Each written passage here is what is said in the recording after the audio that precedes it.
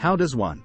How does one make the New Century Version Bible understand that it's not a competition with the Good News Bible, and that they can both be good news?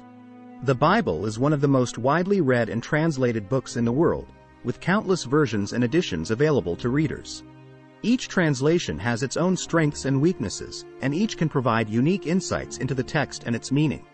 Rather than seeing different translations as competitors, it is more productive to see them as complementary resources that can help deepen our understanding of the Bible.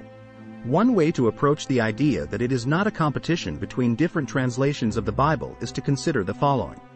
Different translations serve different audiences. Different translations of the Bible are designed to serve different audiences and meet different needs. Some translations are designed to be more accessible to readers who may be new to the Bible or who have limited English proficiency, while others are designed to provide more in-depth study and analysis of the text. Recognizing the strengths and weaknesses of different translations can help readers to find the one that best meets their needs. Different translations can provide unique insights. Because different translations of the Bible use different language and structures, they can provide unique insights into the text and its meaning. Some translations may highlight different themes or ideas that are not as prominent in other translations, and some may use language that is more poetic or more accessible to contemporary readers.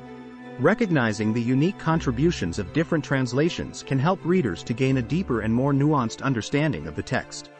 Different translations can help build bridges.